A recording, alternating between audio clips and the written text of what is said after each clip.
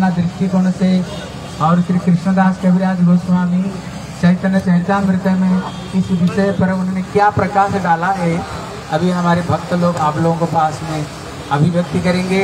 आप सभी की कथा हम लोग सुना हमारे श्री पद्मनाभ महाराज जी महाराज जी।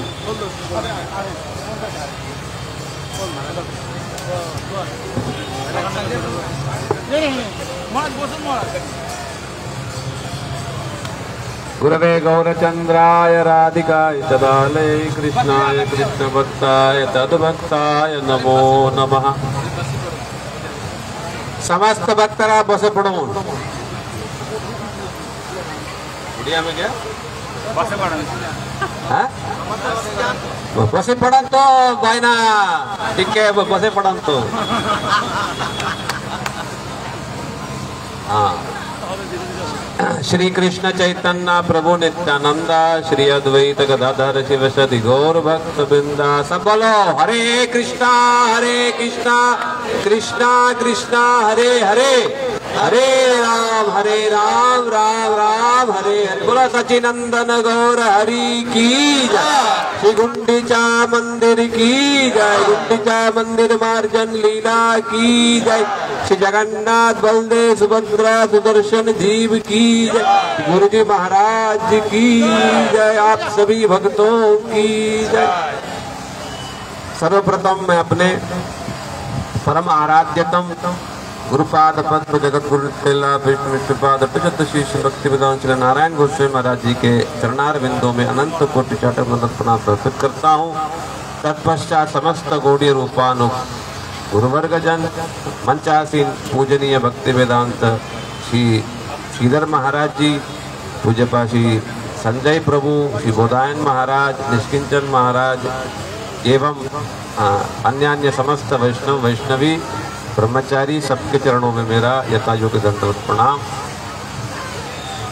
हम लोगों का प्रत्येक साल की भांति, ये साल भी परम सौभाग्य कि हम लोग गुरुपाद पद्म के अनुगत्य में पूजनीय महाराज।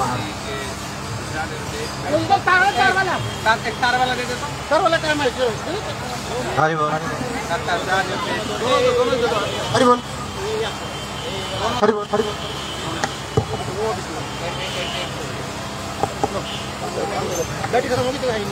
गुरुपाद पद्म के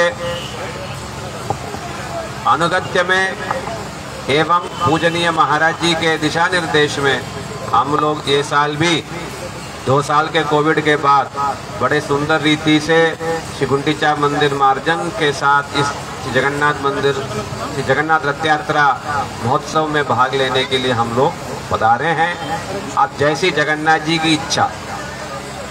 लगता है किसी को मार्जन करने की लालसा नहीं है। सब कहते हैं, बहुत हो गया मार्जन तो इसलिए जगन्नाथ जी हमको मौका नहीं दे रहे हैं। ठीक है? या कोई निष्कपट रूप से मार्जन करना नहीं चाहता है तो इसीलिए सब ऊपर ऊपर से दिखावे करते हैं। शायद इसीलिए जगन्नाथ जी हमको ये सुयोग नहीं दे रहे हैं। यदि हम लोग निष्कपट रूप से प्रार्थना यदि करें, शायद वो हमें मौका हमको दे दे। तब तक हम चैतन्य चरितामृत में से संक्षेप में जगन्नाथ जी के ये गुंडीचा मंदिर मार्जन लीला के संबंध में चैतन्य महाप्रभु जी ने जो किया, वो हम सुनते हैं। चैतन्य महाप्रभु जी, दक्षिण यात्रा के बाद स्वयं इस जगह गुंडीचा मंदिर के मार्जन को मांग के लिया ये सेवा जो है, गुंडीचा मंदिर के साफ़ करने की जो सेवा है, महाप्रभु ने इसको मांग के लिया उसके पहले साधक हृदय में श्री जगन्नाथ जी को, श्री कृष्ण को, राधा और श्री कृष्ण को यदि वो बिठाना चाहता है, तब उसका हृदय कैसे होना चाहिए? जिसके उदाहरण स्वरूप चैतन्य महाप्रभु जी ने ये लीला प्रकाशित करके दिखाया, महाप्रभु जो है, भक्तों को लेकर के पहले तिलक, माला सब सम्मान देते हुए, फिर सभी भक्तों को कीर्तन करते हुए लेते हुए सबके ये हाथों में महाप्रभु ने झाड़ू दिया और स्वयं महाप्रभु ने झाड़ू किया। तो झाड़ू करते हुए सभी भक्तों को सेवा में लगाते हुए पहले भीतर का मंदिर, फिर बाहर का जगमोहन, फिर बाहर के जो रसोई घर, फिर प्रांगण, इस प्रकार की पद्धति से महाप्रभु ने सब सफ़ाई की। करते करते करते सभी लोगों ने जो धूल मिट्टी है, सबको ये इकट्ठा किया और महाप्रभु ने कहा, कौन ज़्यादा करता है? तो सबने देखा कि सबने मिलके जितना धूल मिट्टी संग्रह किया, उससे कई गुना ज़्यादा महाप्रभु का संग्रह था धूली का।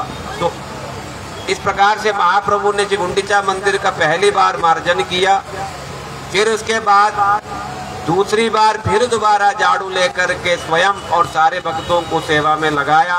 पहली बार में बड़े बड़े कंकड़ और धूल इत्यादि गया और दूसरी बार में छोटे छोटे कंकड़ और छोटे छोटे धूल, तृण जो छिपे हुए थे वो सब भी जो है धीरे धीरे साफ़ आ, हो गया। इस प्रकार से चैतन्य महाप्रभु जी ने दो बार श्री गुंडीचा मंदिर का सुंदर रूप से उन्होंने मार्जन किया और जैसे ही दो बार समापन हुआ महाप्रभु ने कहा जल लाओ। उसके पहले ही जो है सारे भक्त लोग पीछे जो सरोवर है वहाँ से लेके भीतर मंदिर तक लाइन करके सब लोग खड़े थे और गढ़े में पानी लेकर के प्रस्तुत थे। और जैसे ही महाप्रभु ने कहा पानी सीधा महाप्रभु को गढ़े में आ, पानी से भरा हुआ गड़ा महाप्रभु को दिया।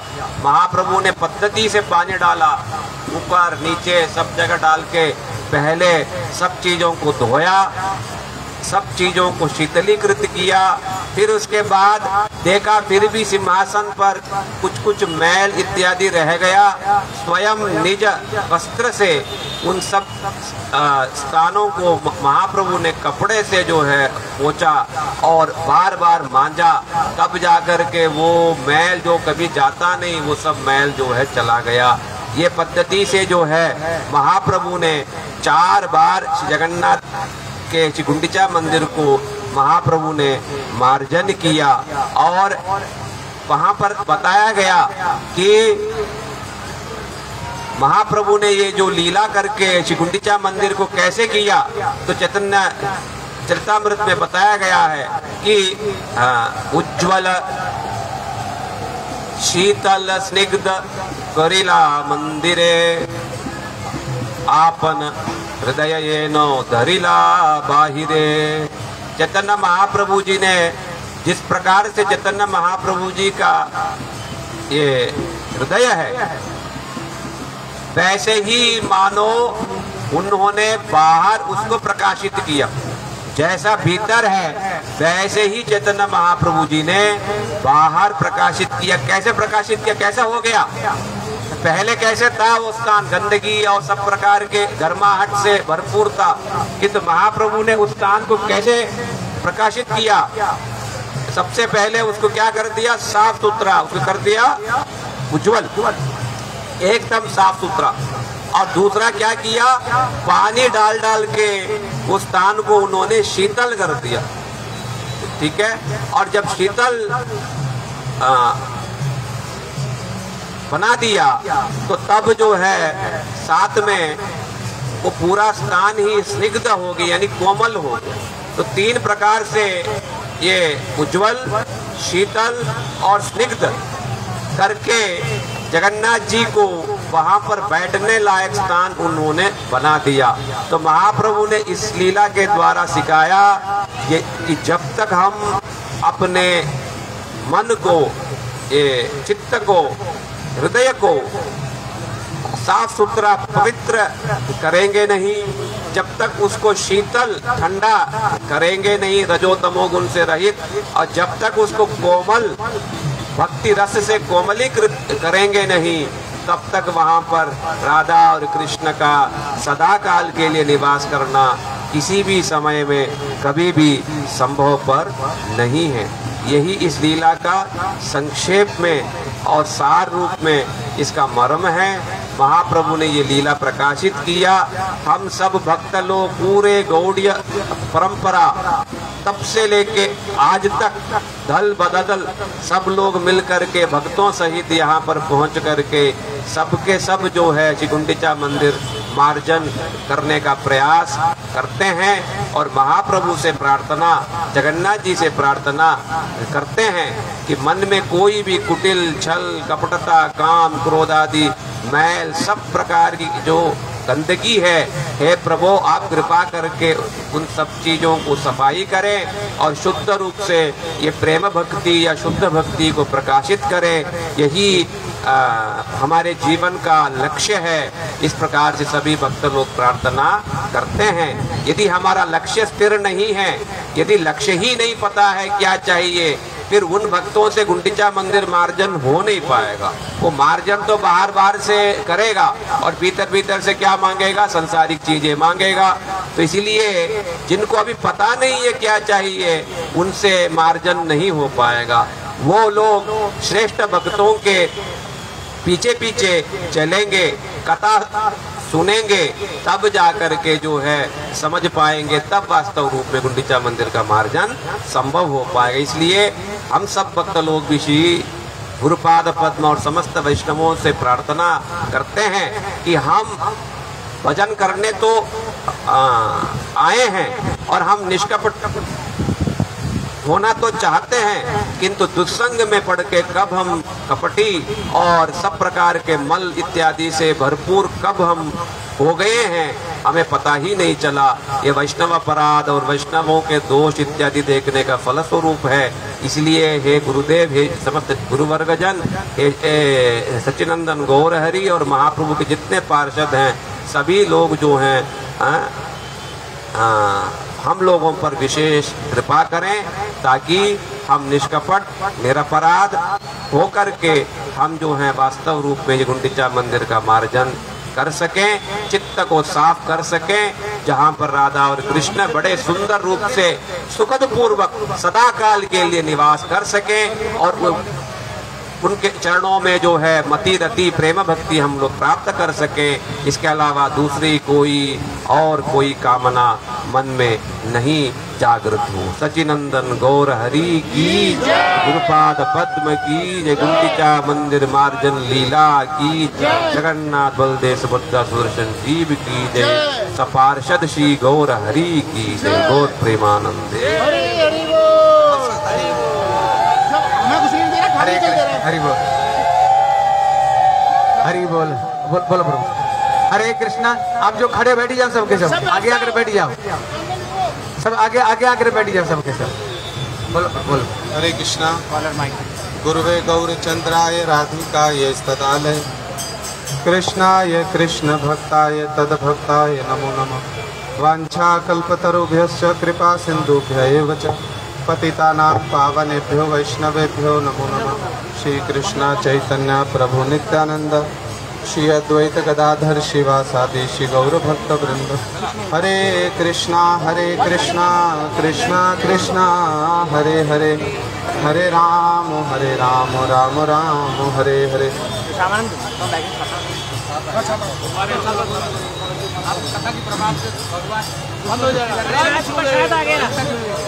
मैं सर्वप्रथम अपने परम आराध्य परम गुरुपाद जगत गुरु नित्यलीला प्रेष्ठ ओम विष्णुपाद अष्टोतर श्री शिला भक्ति वेदांत नारायण गोस्वामी महाराज जी के श्री चरण कमलों में अनंत कोटि दंडत प्रणाम ज्ञापन करता हूँ।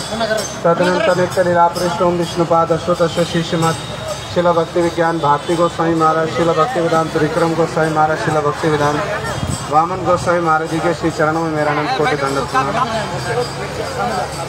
उपस्थित पूज्यपाद श्री भक्ति विधान श्रीधर महाराज जी पूज्यपाद भक्ति विधान पदमनाम महाराज पूज्यपाद भक्ति विधान बोधायन महाराज अन्य अन्य त्रिदंडी पादगण ब्रह्मचारी वृंद वैष्णव वैष्णवी सबके चरणों में मेरा जथाजोग दंडत प्रणाम हरे कृष्णा। हम लोग गुरु महाराज जी की बड़ी विशेष कृपा से और पूजनीय वैष्णवों के दिशा निर्देश में श्री चैतन्य महाप्रभु जी के चरणों का अनुसरण करते हुए गुंडीचा मंदिर मार्जन करने पहुँचे।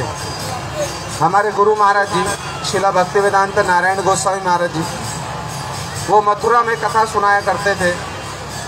गुरु महाराज जी कहते थे, ये गुंडीचा मंदिर और कुछ नहीं है, ये हमारा हृदय ही समझ लो इस गुंडीचा मंदिर को।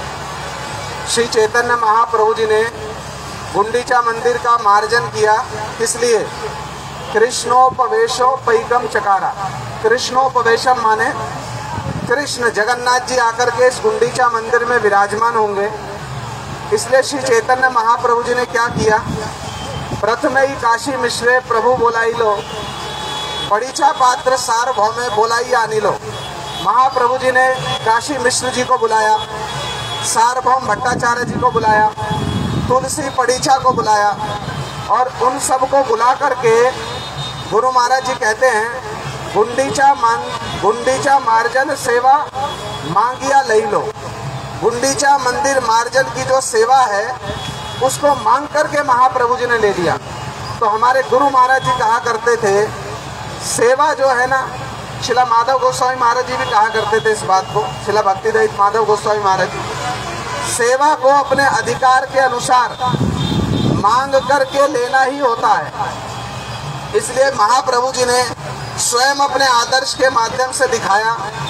महाप्रभु जी के प्रकट होने से पहले जगन्नाथपुरी में राजा के कर्मचारी आकर के मंदिर का मार्जन करते थे।